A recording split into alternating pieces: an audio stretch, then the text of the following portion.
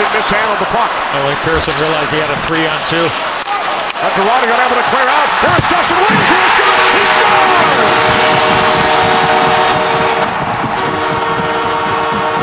There, Tanner Pearson thought I thought he had a chance to keep going on the three on two, but the puck just goes off the stick of Dan Girardi, turns it over. Mike Richards to Justin Williams, and again, Girardi is going back for this puck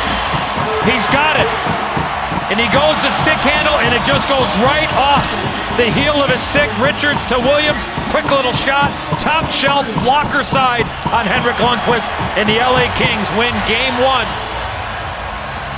in overtime.